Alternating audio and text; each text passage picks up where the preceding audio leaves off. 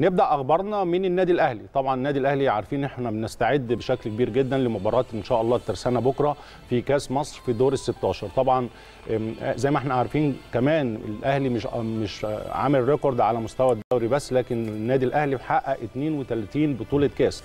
بطولة الكأس أيضا من البطولات المهمة جدا للنادي الأهلي بطولة الكأس إن شاء الله دور ال 16 يعني عندنا مباراة قوية مع الترسانة. النهارده الفريق بيختم استعداداته لهذه المباراة طبعا بعد تدريبات وفايلر عمل محاضرة مع اللعيبة اجتمع باللعيبة وبعد الاجتماع كان في زي ما بتقول تمرين خفيف يعني تمرين على النواحي التكتيكية لمباراة بكرة في موضوع بيبقى التمرين ما بيزيدش عن أكتر من 50 دقيقة دايما قبل المباراة وقبل كمان التدريب كان في محاضرة. فايلر طبعا متعود يعمل المحاضرة دي مع اللعيبة قبل المباراة بيشرح فيها خطط اللعب بكرة هتكون إيه. الهدف من أكيد من المباراة بكرة طبعا الفوز بيها بشكل كويس. فكل دوت استعدادا لمباراة إن شاء الله مباراة الترسانة بكرة أمام النادي الأهلي في دور ال 16 وزي ما قلنا إن يعني مباراة مهمة على الجانب على الجانب البطولي. يعني إحنا إحنا دايما بندور على الثلاثية. إن شاء الله خلاص الدوري خدناه. بطولة الكاس من البطولات كمان المفضلة للنادي الأهلي. زي ما بقول لك 32 بطولة كاس للنادي الأهلي. إن شاء الله بالتوفيق بكرة لفرقتنا في مباراة يا رب يا رب إن شاء الله. طبعا ريني فايلر المدير الفني النهارده كان بيعلن قائمه الفريق اللي بيستعد لمواجهة الترسانة. قائمه 36 الاهلي صح. س... آسف. آه. 36 بطولة 36 بطولة كاس مصر. آه مش 32 آه يعني أربعة مش هتفرق برضه يا محمود. يعني إحنا عندنا بطولات كتير. يعني 36 بطولة كاس للنادي الأهلي. قائمه الأهلي بنفكر بس السادة المشاهدين إنها بتضم ياسر إبراهيم محمد محمود عبد المنعم كهربا.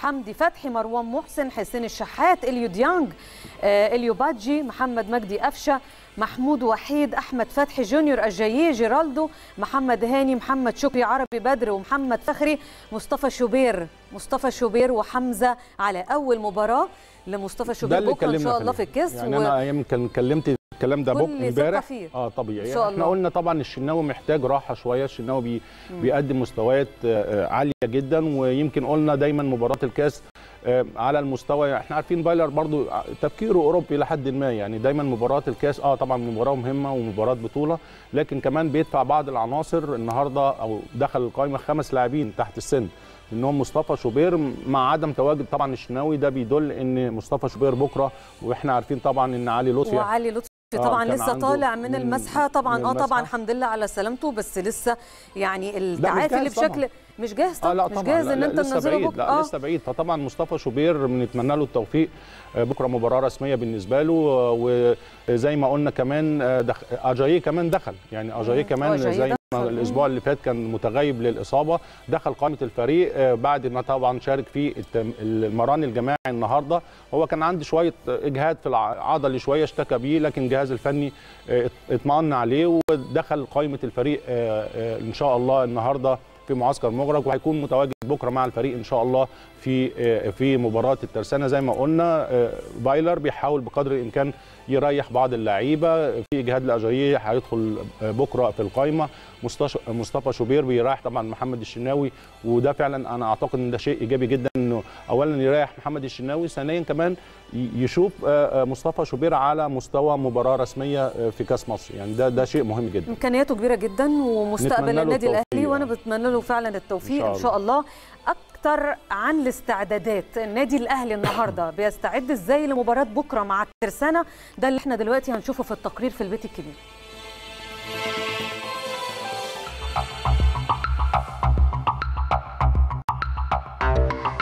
اختتم الفريق الكروي الأول بالنادي الأهلي تدريباته الجادة استعدادا لمواجهة الترسانة المقرر لها غدا الأربعاء ضمن مباريات دور الستة عشر وهي البطولة التي يسعى المارد الأحمر لتحقيق لقبها للعديد من الأغراض.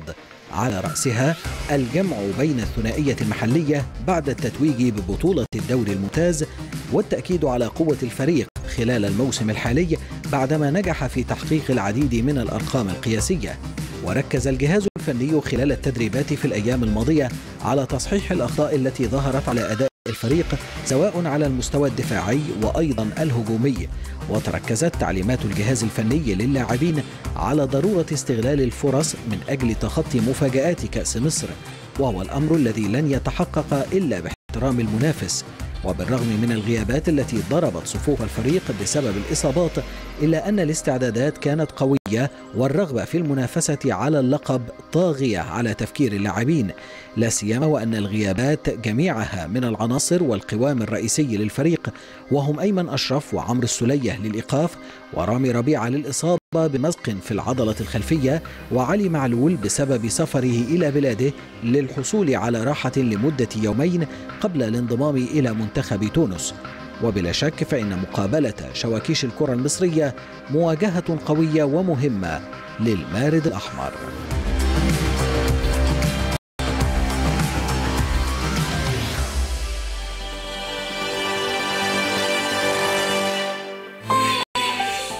أكيد طبعا مباراة مهمة ومباراة قوية. آه، طبعا نتمنى أكيد فوز النادي الأهلي ووصوله لدور الثمانية.